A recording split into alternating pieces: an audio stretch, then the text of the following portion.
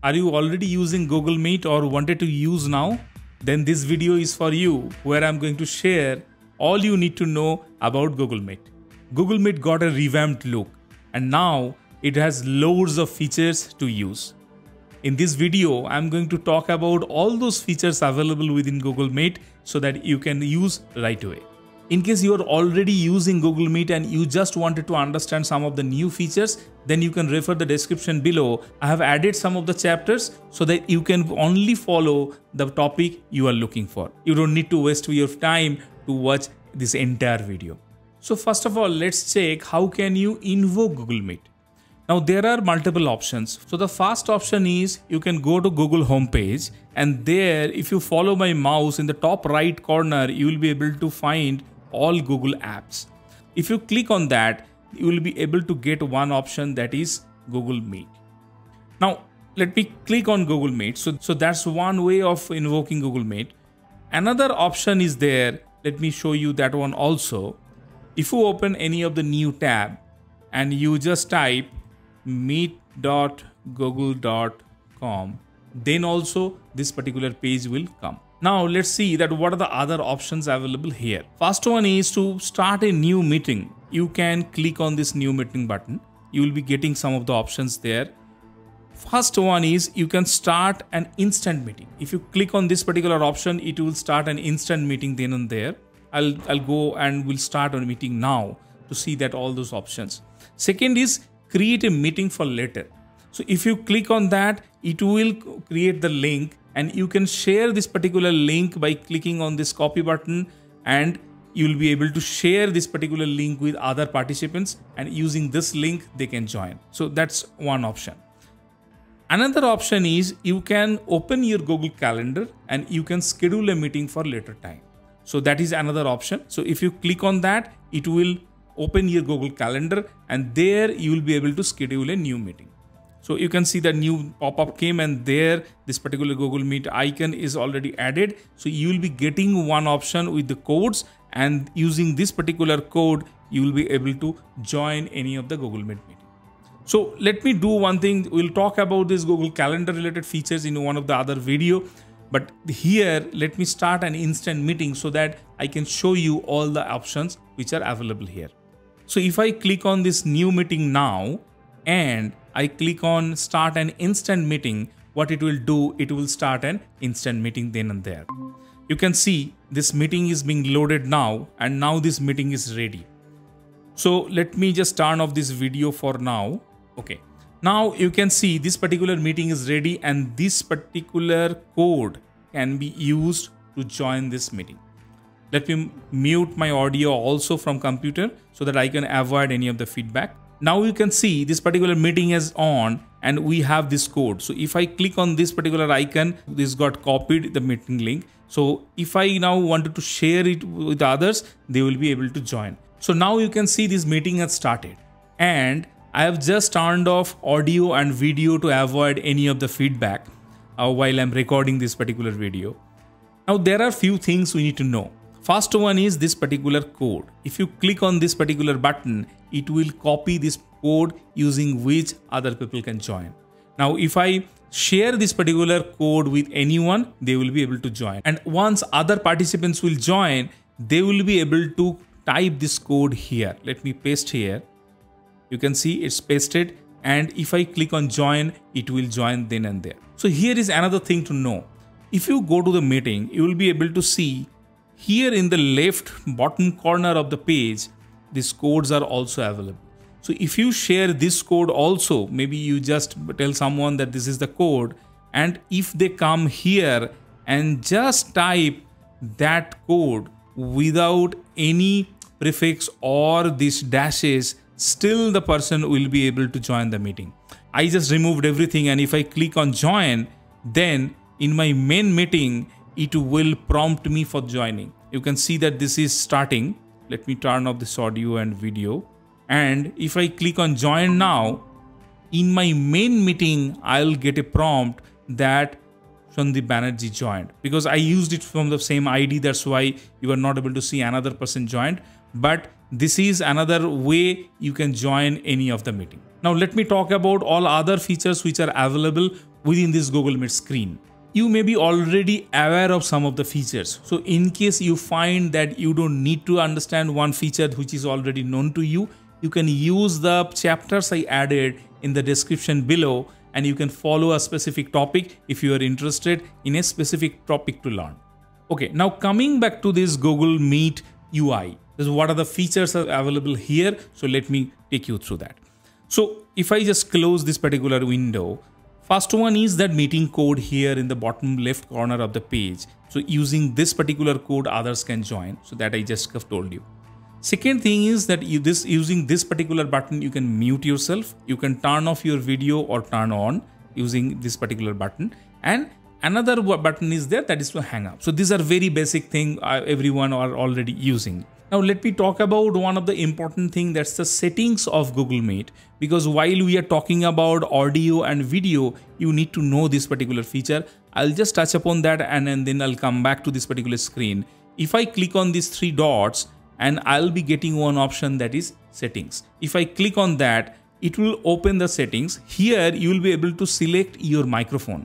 If I select, I can see there are multiple microphones. So which one I, you wanted to use, you can just select. In case you have only one microphone, you don't need to bother about much here. So that's one.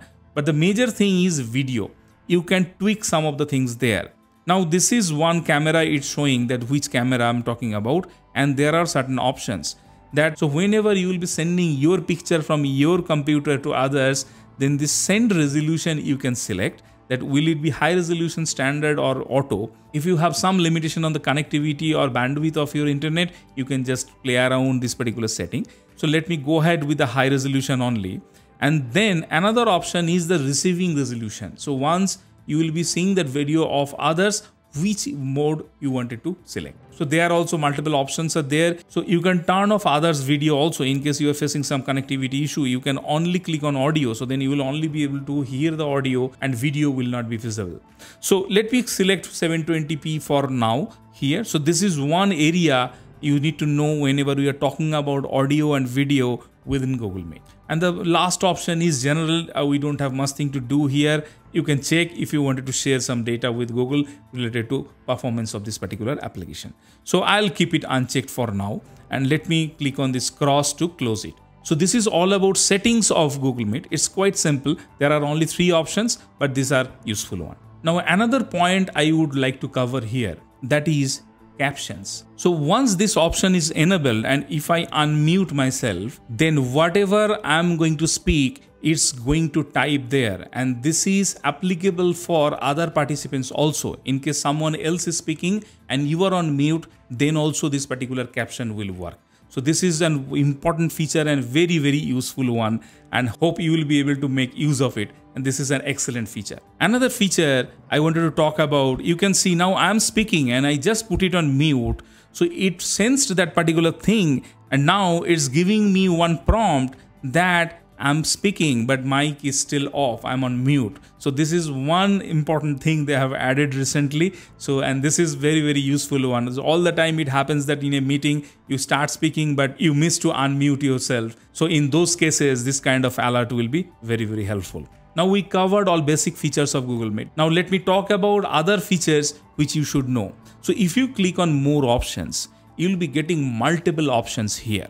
We just talked about settings and captions. You can turn on and turn off captions from here, but if you click here, you will be getting another additional feature that is to select the language using which your captions will be written.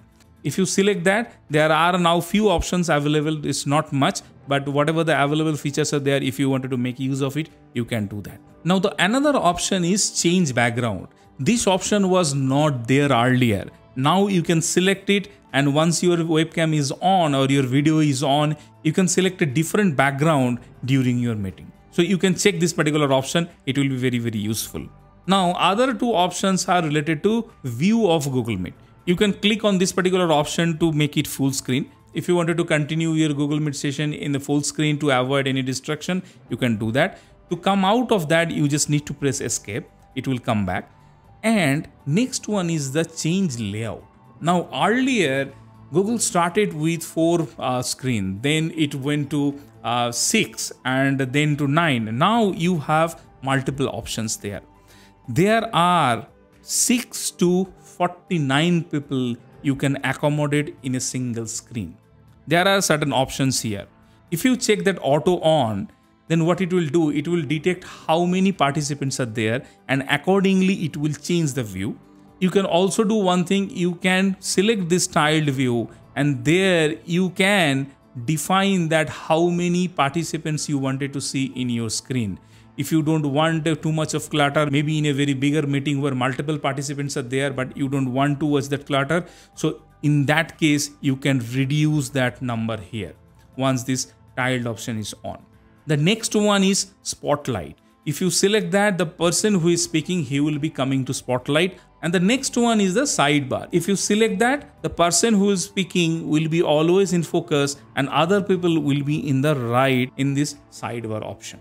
So these are options are there. So maybe for now, I'll go ahead with auto and I'll enable this maximum number of participants it can accommodate. So this is the way you can change the layout. Earlier it was not there. We had to use some of the additional extensions for this particular purpose. Coming to the final one of this particular menu item that is Google Whiteboard. So once I'll click on that, it will invoke Google Jamboard. Now there are certain options before that. You can see that you can start a new whiteboard. So in case in a situation where multiple people are there, you are doing some brainstorming, and you wanted to collect ideas and the way we used to do earlier in a whiteboard method or using a chart paper all those things you can do here. Now you can click on this particular button to start a new whiteboard or you can choose from your drive in case you already have an existing one. So let me show you both options. If i click on this start a new whiteboard what it will do it will start a new jamboard and there you will be able to start working on it I'm not going to the detail of how to use Jamboard in this particular video because I recorded a different video where I covered only Google Jamboard. So you can refer the video in the card above and I'll also add a link in the description once it will be published. If I now click on the other option, choose from my drive, it will also open my drive and whatever the other Google Jamboards are already there, it will be visible. I can select any one of them and I'll be able to start using it maybe let me click this video ideas and if I click on open jam then that particular Google Jamboard will be available. So and here people will be able to start working and they will be able to collaborate together. So this is one related to Jamboard. If just refer the other video if you wanted to learn more about Google Jamboard. Now we mainly covered all these options. There are few of the icons in the right side of this particular page. You can see that is one is meeting detail the same code which, which is available in the left side if you click this particular button it will again show you that particular detailed link and you can copy the joining info and you can share using any other medium and other people will be able to join you will be also able to access the Jamboard whatever you open now. The first one is the one which we just created and the other one which we referred when we opened from Google Drive. So these are the two Jamboards are also available here which can be invoked anytime using this particular option. Now if I click on the next button that is People Pan, if I select it, it will open that who are the participants are already available in this particular meeting. Currently, I am only there, so that's why it's not showing much of an option. But once you multiple people will be there, this particular list will get populated. You'll also be able to see that who are muted. In case you wanted to pin yourself in this particular meeting view, you can do that by using this particular button. You can also click on this add people to invite other participants in this particular meeting. So this is about people tab. Similarly, you have a chat box here. Within the meeting, you can chat with other participants. You can see now we have started two of the Jamboard. Those links are also here.